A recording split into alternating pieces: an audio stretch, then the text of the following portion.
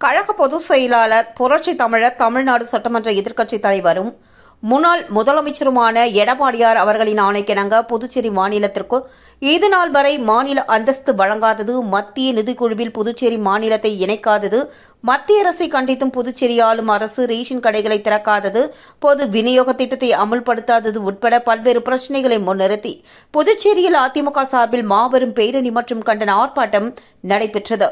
AFT மைதானத்தில் துவங்கிய ஆர்ப்பாட்டத்திற்கு கழக அமைப்பு செயலாளரும் விழுப்புரம் மாவட்ட கழக செயலாளரும் முன்னாள் அமைச்சருமான சி வி சண்முகம் எம்பி தலைமை தாங்கினார். புதுச்சேரி மாநில கழக செயலாளரும் முன்னாள் சட்டமன்ற கட்சித் தலைவருமான அன்பழகன் முன்னிலை வகித்தார். இந்த பேரணியானது ஆர்ப்பாட்டமானது ஏஎஃப்டி மைதானத்தில் துவங்கி வெங்கடசபா ரெட்டியார் சிலை அண்ணா சிலை நேரு வீதி மற்றும் மிஷன் வீதி வழியாக சென்று சட்டப்பேரவை அருகே ஆர்ப்பாட்டம் நடைபெற்றது. இந்த ஆர்ப்பாட்டத்தில் பத்தாயிரத்திற்கும் மேற்பட்ட கழக நிர்வாகிகள் தொண்டர்கள் திரளாக கலந்து கொண்டனர். இந்த பேரணி ஆர்ப்பாட்டத்தில் கலந்து கொண்டு அதிமுக மாநில செயலாளர் அன்பழகன் பேசும் பொழுது புதுவை மாநிலத்திற்கு உரிய உரிமைகளை வழங்காத மத்திய அரசையும் மக்கள் விரோத ஆட்சி நடத்தும் மாநில பாஜக கூட்டணி அரசை கண்டித்தும் இந்த மாபெரும் கண்டன பேரணி ஆர்ப்பாட்டத்திற்கு அனுமதி வழங்கிய கழகத்தினுடைய பொதுச் செயலாளர் தமிழகத்தின் முன்னாள் முதல்வர் எடப்பாடியாருக்கு புதுச்சேரி கழகத்தின் சார்பில் நன்றிகளை தெரிவித்துக் கொள்வதாக தெரிவித்தார். மத்தியில் காங்கிரஸ் பாஜக உட்பட எந்த தேசிய கட்சிகள் ஆட்சியில் இருந்தாலும் புதுச்சேரி மாநிலத்தை தனது கட்டுப்பாட்டின் கீழ் உள்ள ஒரு அடிமை பிரதேசமாக வைத்துக் கொண்டுள்ளது என்றும் புதுவை மாநிலத்திற்கு மாநில அந்தஸ்து தேவை என்பதில் புரட்சித் தலைவி அம்மா உறுதியாக இருந்து வந்தார் என்றும் மத்தியில் திமுக காங்கிரஸ் கூட்டணி ஆட்சியின் போது பாஜக அரசின் ஆட்சியிலும் மாநிலத்திற்கு வழங்கப்பட வேண்டிய உரிமைகள் இதுநாள் வரை வழங்கப்படவில்லை என்றும் புதுச்சேரி மாநிலத்திற்கு கடந்த மூன்று ஆண்டு காலமாக துணைநிலை ஆளுநர் கூட நியமிக்கப்படாமல் தெலுங்கானா ஆளுநரே பொறுப்பு துணைநிலை ஆளுநராக இன்று வரை செயல்பட்டு வருகிறார் என்றும் மக்களுடைய நீண்ட நாள் கோரிக்கையான மாநில அந்தஸ்து கொடுக்கப்படவில்லை.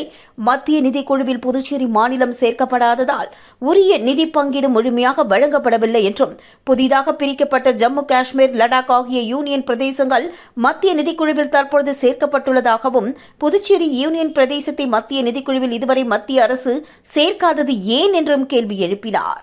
மத்திய அரசின் மக்கள் விரோத திட்டங்களை செயல்படுத்தும் சோதனை எலியாக நம் மாநிலத்தை மத்திய அரசு பயன்படுத்துவதாக குற்றம் சாட்டிய அவர் இதற்கு புதுச்சேரி ஆளும் பாஜக கூட்டணி அரசு மக்களை குறித்து கவலைப்படாமல் துணை நிற்பதாகவும் குற்றம் சாட்டினார்.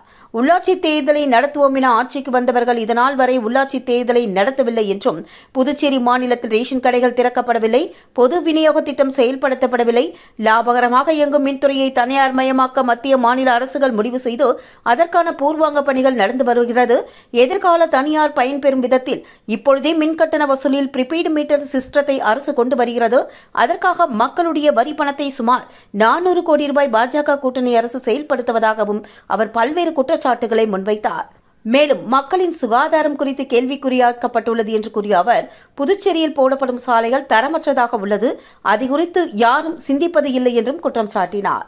மாநில அந்தஸ்து என்பது என்ஆர் காங்கிரஸ் கட்சியின் முதல் கொள்கை என்னமும் தனது தேர்தல் அறிக்கையிலேயே அறிவித்துள்ள நிலையில் புதுச்சேரி மாநிலத்திற்கு மாநில அந்தஸ்து வழங்க முடியாது என மத்திய பாஜக அரசு தெளிவாக பாராளுமன்றத்தில் கூறியுள்ளதை சுட்டிக்காட்டிய அவர் இந்நிலையில் நடைபெறும் நாடாளுமன்ற தேர்தலில் பாஜகவின் வேட்பாளரை முதல்வர் ரங்கசாமி ஆதரிக்க வேண்டிய அவசியம் என்ன என்றும் கேள்வி எழுப்பினார்.